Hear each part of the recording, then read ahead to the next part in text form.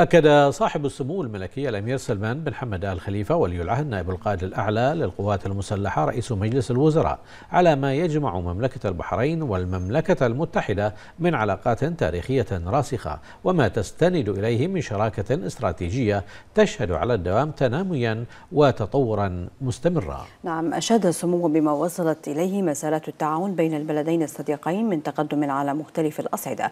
جاء ذلك لدى لقاء سموه اليوم في قصر الرفاع بحضور حضور سمو الشيخ محمد بن سلمان بن حمد الخليفة ومعالي الشيخ سلمان بن خليفة الخليفة وزير المالية والاقتصاد الوطني الفريق طيار مارتن سامي سامسون كبير مستشاري الدفاع للشرق الأوسط وشمال إفريقيا بالمملكة المتحدة حيث رحب سموه بكبير مستشاري الدفاع للشرق الأوسط وشمال إفريقيا بالمملكة المتحدة والوفد المرافق مشيرا إلى أهمية مواصلة تطوير أوجه التعاون والتنسيق المشترك بين مملكة البحرين والمملكة المتحدة الصديقة.